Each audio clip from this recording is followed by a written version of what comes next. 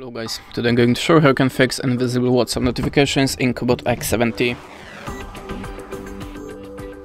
So if you don't see your WhatsApp messages, always start from the simplest way, so expand the icons and check that you have the net mode deactivated. Now I have it activated, so if you see something like that, just open it and switch it off to the off position.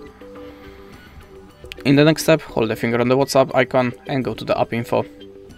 Let's start from the notifications, make sure that you have the switcher activated, and after that open the additional settings. Now check that you have activated high priority notifications here and here.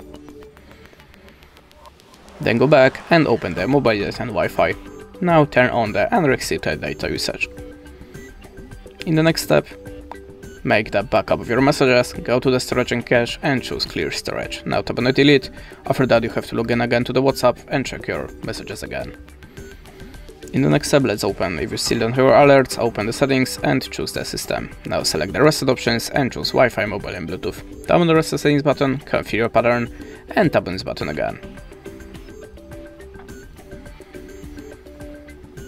In the next step, let's try to upgrade the system, so open the system, select the system update and click on this button. If you have an update, install it and check your WhatsApp again. That's it. Thanks for watching and goodbye.